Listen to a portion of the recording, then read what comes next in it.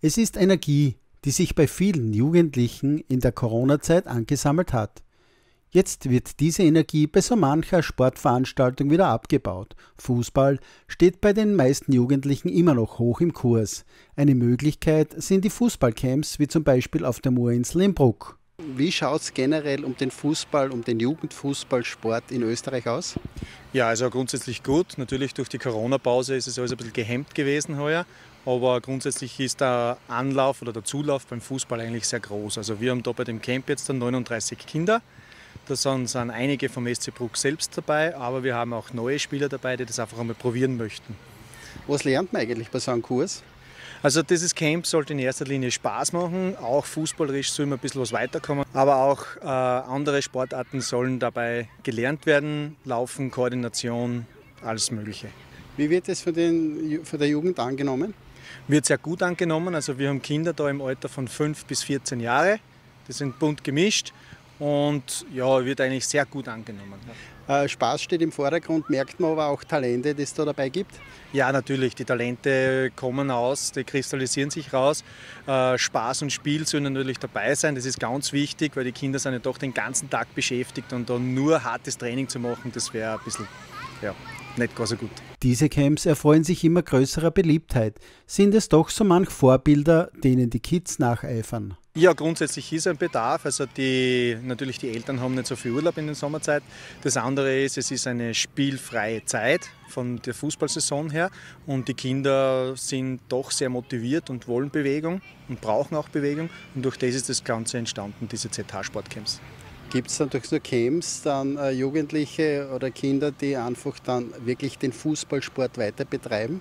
Ja, natürlich. Also wir haben alle Jahre zwei bis fünf Kinder, die dann pro Camp dann weiter auch im Verein aktiv weiter Fußball spielen. Ja.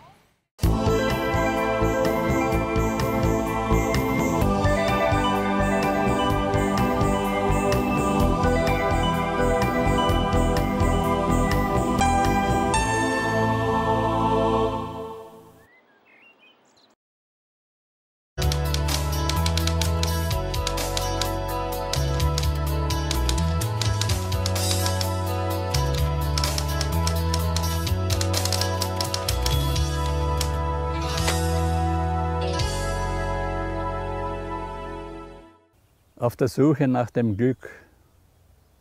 Es ist so eine Sache mit dem Glück. Ein Sprichwort sagt, man könne es schmieden. Jedenfalls wird es gesucht, das große Glück. Ja, mit etwas Glück packt man es sogar beim Schopf und hält es fest. Wir Menschen streben nach Glück, wir spielen um das Glück. Ein Sechs im Lot hat manchen Menschen zum Millionär gemacht. So ein Glück, sagen wir dann neidisch, ob dieser Mensch auch tatsächlich glücklich ist? Mir fällt das Märchen von Hans im Glück ein. So richtig glücklich war dieser Hans erst, als er sich von seinen Dingen befreit hatte. Auf der Suche nach dem großen Glück sollen wir nicht das kleine Glück übersehen, welches uns mit etwas Glück täglich begegnet. Glück ist, einen Partner zu haben, in dessen Armen man glücklich sein kann. Glück ist, Begegnungen mit glücklichen, frohen Menschen zu haben. Glück ist, in kalter Umgebung eine warme Hand zu drücken. Glück ist, als Eltern Kinder zu haben, die einen Jung erhalten.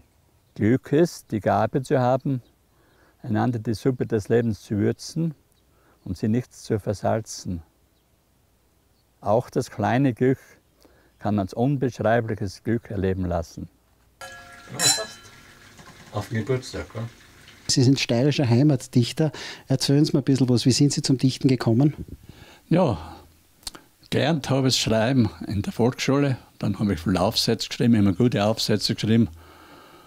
Dann habe ich die Kinder, die eigenen Kinder geholfen, nicht? und die ältere Tochter, die Monika, war in Feldbach im Park. Und zwei Aufsätze, die Themen weiß ich nicht mehr. Ja, mir haben es gut gefallen, die Tochter aber der Frau Professor nicht. Und so hat sie auf die all zwei Arbeiten einen Fleck gekriegt. Dann habe ich aufgehört dem Aufsatz schreiben und bin übergegangen zum Bücherschreiben. Ne? Und da haben wir eigentlich gefördert. Fred Strohmeier, der war Redakteur beim Neuen Land, früher Bauernbündler, den kenne ich von Jugend auf und den habe ich mal was geschickt. Und der hat gesagt, mach weiter. Und so ist immer mehr geworden. Dann hat man Erfolg, dann leckt man Blut, dann kann man nicht mehr zurück. Gibt es eigentlich ein bevorzugtes Thema, das Sie beim Schreiben verwenden? Ja, eine Zeitgeschichte, wie es früher war und auch lustige Sachen. Ähm, manche halten mich vor, ich tue die Leute ja, zum Nahen halten, nicht? aber das stimmt ja nicht. Ich kann auch über mich selber lachen. Die Computer Computerumstellung, da habe einen Computerkurs gemacht und am nächsten Kurstermin hat mir der Nachbar gefragt, der Kollege, wie geht's denn? Da haben wir mit dem Üben. Sag ich, ganz gut. Die Coach darf schon im Büro bleiben, wenn ich mit der Computermaus arbeite. Ne? Also kann ich über mir selber was lachen, kann vielleicht auch über einen anderen was lachen. Ne? Und hat neben dem Dichten in Ihrem Platz auch noch etwas, äh, was, Sie, was Sie gern tun? Ja, Weingarten arbeiten. Wir haben die kleine Wirtschaft, Landwirtschaft, da haben wir die Jungen übergeben, die Waldrat. Und Weingarten, da wollen wir ein bisschen aus und ein bisschen Wein machen. Ja, und dann äh, singen ich auch bei drei Chören. Wir haben in Steins die ehemalige Gemeinde Steins bei Straten, ein Chor, dann ein Chor der Pfarre und ein Begräbnischor. Dort singen ja, ja, die sind nicht wählerisch, die gestorben, da kann man singen. Ein Ehepaar feierte goldene Hochzeit. 50 gemeinsame Jahre. Doch es dürften keine harmonischen Jahre gewesen sein. Die goldene Ehefrau kniete schon vor dem Altar. Doch der Bräutigam in Gold weigerte sich, neben seine Frau in die Knie zu fallen. Herr Dechand wollte ihn ermutigen, doch zu seiner Frau zu gehen. Er wollte den Ehebund der beiden erneuern und segnen.